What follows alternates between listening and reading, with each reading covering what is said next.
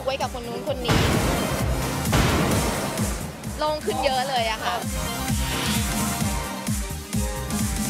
คือต่างคนต่างเกรงค่ะ และเขาก็ไม่พูดอะไรเลยยกเอาไปเก็บให้แม่หน่อยเปาเอาของไปเก็บ เอาของเล่นไปเก็บไปเล่นเสร็จแล้วไปเก็บ เป็นสาวห้ามพูดคำว่าหนาว เหมือนอ่อยอ่อยอ่อยไงสนับสนุนโดยนิชชินคัพนูเดิลหนักเครื่อง pretend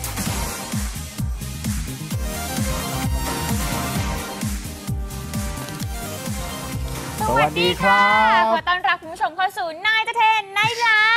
ฟ์นะคะคืนวันอาทิตย์สบายๆแบบนี้นะคะถูกต้ก่อองนครับจะนอนกันก็มาอัปเดตข่าวบันเทิงกับเราสองคนนะคะ อยู่กับฝนแล้วก็พี่ไทยนะคะครับผมรายงานตัวครับผมครับผมครับผม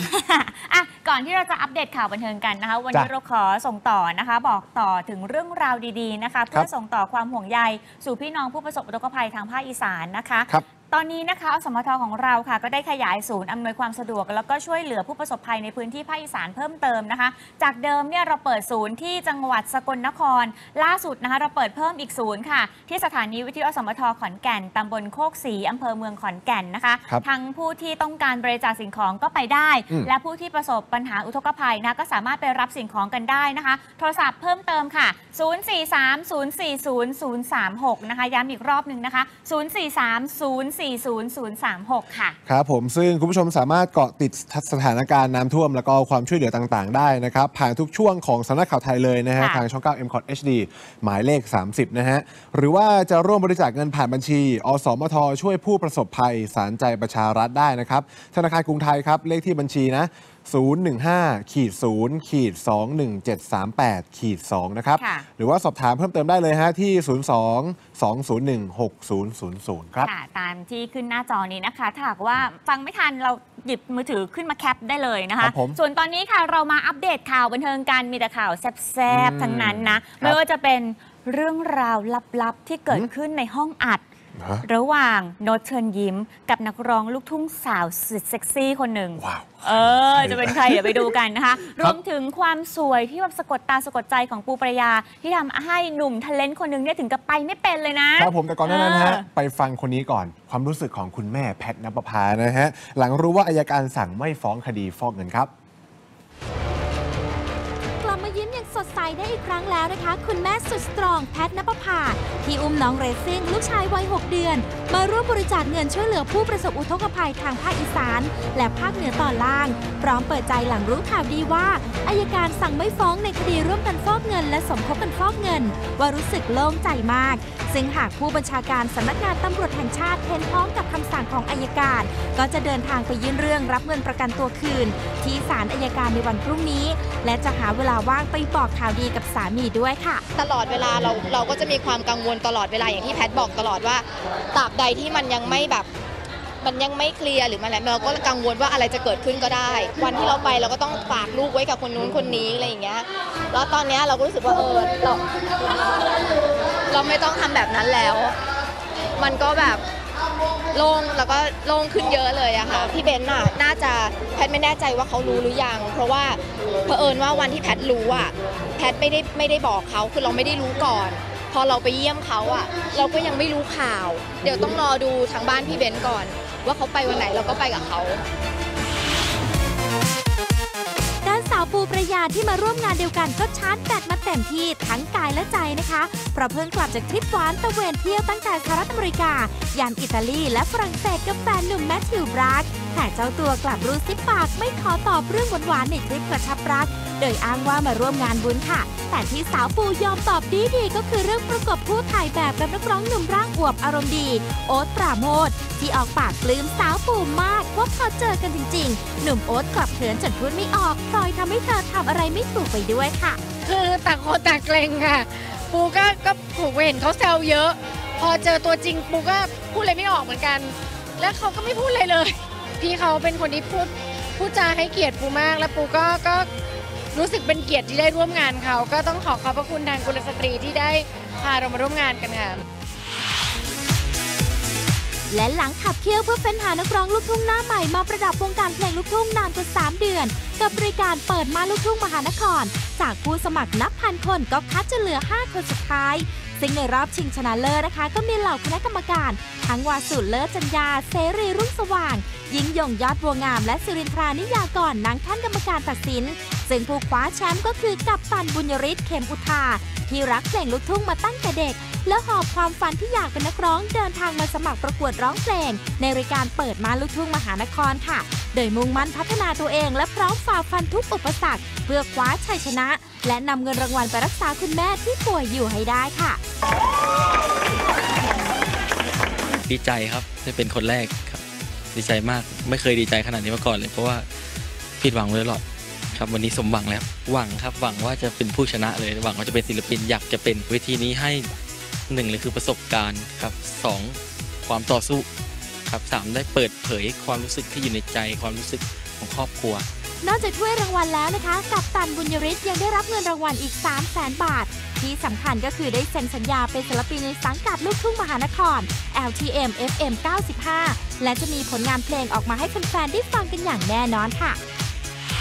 คนโสดนอนหน้า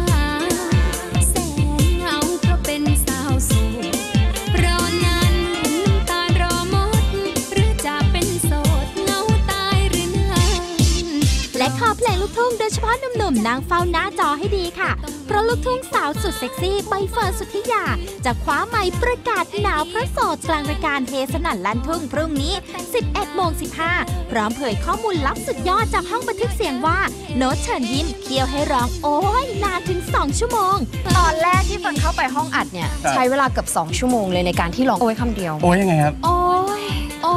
ย โอ้ย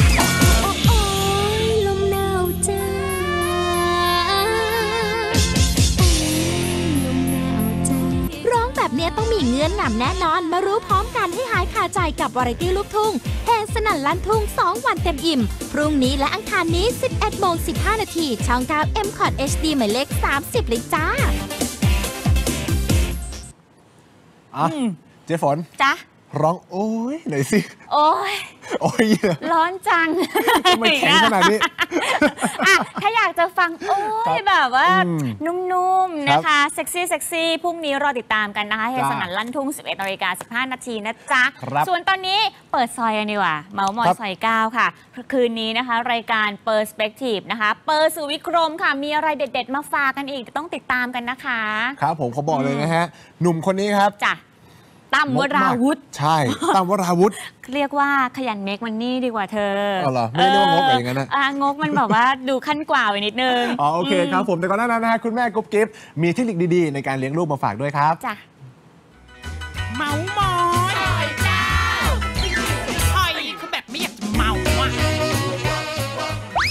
ปรบมือรัวๆพร้อมยกนิ้วให้ไปเลยสำหรับคุณแม่คนเก่งกุ๊กกิ๊บสมนทิพย์ ที่สอนลูกสาวเจ๊เป่าบางพลีดีมาก ไม่ว่าลูกสาวจะหยิบจะจับหรือรื้อของอะไรมาเล่น ก็ต้องให้เอาไปเก็บที่เดิมเองหลังจากเล่นเสร็จแล้ว เพื่อให้ลูกชินและติดเป็นนิสัยค่ะ ถึงแม้จะมีงอแงบ้าง แต่คุณแม่กิ๊บบอกเลยว่า ตอนนี้น้องเป่าเปาอยู่ในวัยที่จดจำได้ดี ต้องสอนให้เต็มที่ ถึงลูกจะร้องบ้างก็ต้องทนค่ะเอาคุณแม่คนไหนจะนำเทคนิคนี้ไปใช้ก็ไม่สงวนลิขสิทธิ์นะจ๊ะ สนุกร้องสายหาตามวราวุธรายเนี้ยต้องยกตำแหน่งหนุ่มอึดให้ไปเลย เพราะขนาดคิวงานแน่นเวอร์แทบทุกวัน แต่พอว่างปุ๊บแทนที่จะพักผ่อนเปล่าจ้าฮีจะมาออกบูธขายถั่วตั้มธุรกิจของตัวเองทันที พอถามว่าทำไมไม่พัก หนุ่มตั้มก็รีบบอกว่า เวลามาออกร้านเองลูกค้าจะจำได้และเข้ามาซื้อกันเยอะ แต่ถ้าจ้างคนมาเฝ้านอกจากยอดขายจะไม่ปังแล้ว ยังเปลืองเงินไปอีกแหมขี้เหนียวเอ้ยหัวคิดดีขนาดเนี้ยสงสัยต้องพกติดกระเป๋าไปขายตามงานอีเวนต์และคอนเสิร์ตต่างจังหวัดแล้วละมั้งเนี่ยลัดลาและ Perspective วันนี้หนุ่มเปอร์สุวิกรมจะพาไปรู้จักกับเจ้าของตลาดนัดสุดชิค แหล่งรวมวัยรุ่นอย่างตลาดรถไฟที่กว่าจะประสบความสำเร็จอย่างทุกวันนี้ ต้องเก็บเศษไม้ขายเพื่อแลกเงิน ผ่านร้อนผ่านหนาวสู้ชีวิตสร้างตัวจากที่ไม่มีอะไรเลย กลายเป็นคนมีเป้าหมายในชีวิตและผู้ก่อตั้งต ลาดนัดรถไฟได้ ติดตามได้หลังจบรายการนาทูเทนในไลฟ์คืนนี้นะจ๊ะไฮโซโบเย้ยต้องคอยติดตามกันเลยนะคะ ส่วนครัตบอนนี้ค่ะเราไปที่โพลมหาชนนะ เป็นเรื่องราวต่อเนื่องจากเมื่อวานนี้นะคะครับเราได้จัดอันดับนะสิอันดับลูกกตัญญูดาราอืมลูกกตัญญูขึ้นมา วันนี้ไปสำรวจกันต่อดีกว่านะคะ ว่าทำไมคนไทยถึงยกให้ดาราทั้ง 10 อันดับนั้นเป็นลูกกตัญญูตัวอย่างค่ะ จากผลสำรวจความคิดเห็นคนไทยกลุ่มตัวอย่าง 1,404 คนที่กระจายอยู่ทั่วประเทศ ทุกเพศ ทุกวัย ทุกระดับการศึกษาอาชีพและรายได้ พบว่า 10 อันดับดาราที่คนไทยยกให้เป็นลูกกตัญญูได้แก่อันดับ 1 หนุ่มสอนราม อันดับ 2 แพทย์นภพาอันดับ 3 หญิงรัฐา อันดับ 4ณเดชคูกิมิยะ อันดับ 5 แพนเค้กเขมมะนิดส่วนอันดับ6-10 ได้แก่เวียสุกลวัฒน์ยาย่าอุรัสยาอัมพชราภา โตโน่พาคินและขวัญอุสามณีค่ะ เมื่อสำรวจในเชิงลึกก็พบว่าทั้งชายจริงหญิงแท้ คนทุกศาสนาทุกสถานภาพสมรส ทุกระดับการศึกษาและทุกระดับรายได้ เทใจให้หนุ่มสอนรามมากที่สุด ที่ดูแลคุณพ่อชุมพรเทพพิทักษ์เป็นอย่างดี ตราบจนวาระสุดท้าย แม้กระทั่งในพิธีศพก็ยังจัดการอย่างดีที่สุด และพยายามอย่างเต็มที่ในการระงับความโศกเศร้าเสียใจ กลั้นน้ำตาลูกผู้ชายไว้ไม่ให้ใครเห็นค่ะ ส่วนคนวัยต่ำกว่า 25 ปีลงมาและกลุ่มนักเรียนนักศึกษายกให้แพทนปภาเป็นสุดยอดลูกกตัญญูเพราะเป็นที่รู้กันว่าพ่อแม่ของแพทแยกทางกันตั้งแต่แพทย์ยังเด็ก ซึ่งหลังจากนั้นคุณพ่อก็ไม่ได้ส่งเสียเลี้ยงดูเลย แถมยังมาฟ้องร้องเรียกค่าเลี้ยงดูจากลูกสาวคนดังอีกด้วย และสุดท้ายเมื่อคุณพ่อป่วยหนักไร้ที่พึ่ง แพทย์ก็ยังรับมาดูแลจนถึงวาระสุดท้ายทางทางที่แพทย์ก็ยังต้องดูแลคุณแม่ที่ป่วยเป็นอัลไซเมอร์ และนอนติดเตียง ส่วนพี่สาวก็เป็นออทิสติก เท่านั้นยังไม่พอนะคะ ยังต้องเป็นคุณแม่เลี้ยงเดี่ยวเลี้ยงน้องเรซซิ่งลูกชายตามลำพัง เพราะคุณสามีถูกจำคุกอยู่จากคดีฟอกเงินค่ะ ซึ่งเหตุผลที่ประชาชนยกให้นักแสดงเหล่านี้เป็นลูกกตัญญูตัวอย่างเหตุผลหลักเลยก็คือ พวกเขาต่างก็ดูแลบุพการี ทั้งยามป่วยไข้และยามปกติเป็นอย่างดีค่ะ นอกจากนั้นก็เพราะชื่นชอบดาราท่านนั้นอยู่แล้วก็คิดเอาว่า เขาคงเป็นคนดีเป็นลูกกตัญญูค่ะ เหตุผลต่อมาก็เพราะเห็นข่าวว่าเขาเหล่านี้เคยได้รับรางวัลลูกกตัญญูมาก่อน ก็เชื่อว่าคงจะกตัญญูจริง ๆ ค่ะ นอกจากนี้ก็เพราะเห็นว่าประพฤติตัวดีวางตัวเหมาะสมชอบช่วยเหลือสังคม และสู้ชีวิตจึงน่าจะดูแลพ่อแม่บุพการีเป็นอย่างดีค่ะสองหนุ่มหล่อที่มาพร้อมกับมาดามสูดีกว่า ครับผมหล่อแรกใครจ๊ะต่อธนาภพค่ะ โอ้โหต้องทำหน้าขนาดนี้ แล้วหล่อสองล่ะเสกโลโซครับเขาบอกนะฮะว่าพี่เสกนี่ไม่ธรรมดา จีบสาวออกสื่อด้วยฮะ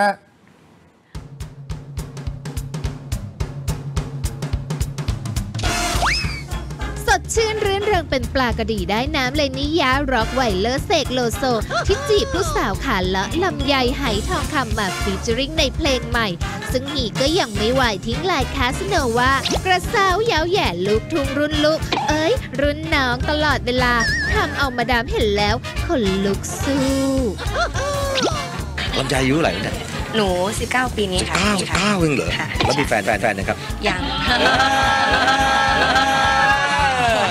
แล้วปกติแล้วสเปคนี่ชอบคนแก่ ชอบคนแก่ ชอบคนแก่นะฮะอ๋อก็ดีก็ดีก็ดีค่ะ ก็ดี ก็ดีหมอจดไว้หมอจดไว้หมอหมอหมอจดไว้โอ้ย พักพิเศษเอาไว้ มาดูหนุ่มหน้าใสต่อธนภพล้างตากันดีกว่า คนนี้เรียนจบใกล้รับปริญญามาทุกที ซึ่งเจ้าตัวก็ happy เพราะจะได้โฟกัสกับการทำงานได้เต็มที่ แต่พอถามถึงเกรดเฉลี่ยปุ๊บ น้องต่อก็รีบบอกเสียงสูงสูงว่าไม่สิผมไม่รู้คนอื่นพอใจไหม แต่ผมพอใจในสิ่งที่ผมมีครับ เราไม่ใช่คนหวังเยอะอะ หมายถึงว่าเราเราก็คงไม่ต้องไปหวังว่าโอ้ยสวัสดีครับ ผมจบ 4.00ผมจบ 4.00 4.00 4.00 นะครับผมทั้งทั้งๆที่ผมทำงานหนักเลยบอกได้ไหมเท่าไหร่เก่งไม่เอาไม่เอาไม่เอาเขินหน้าจะไปพูดอะไรตอนนี้เอานะรับผิดชอบตัวเองได้ขนาดนี้ มาดามและแฟนๆ ก็ยกนิ้วโป้งให้สองมือแล้วจ้า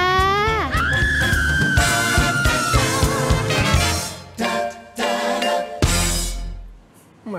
ผมไทยรณชัยสิริกันครับ จบ 0.21 ฮะอืม เออ ยังจะมาคุยนะคะ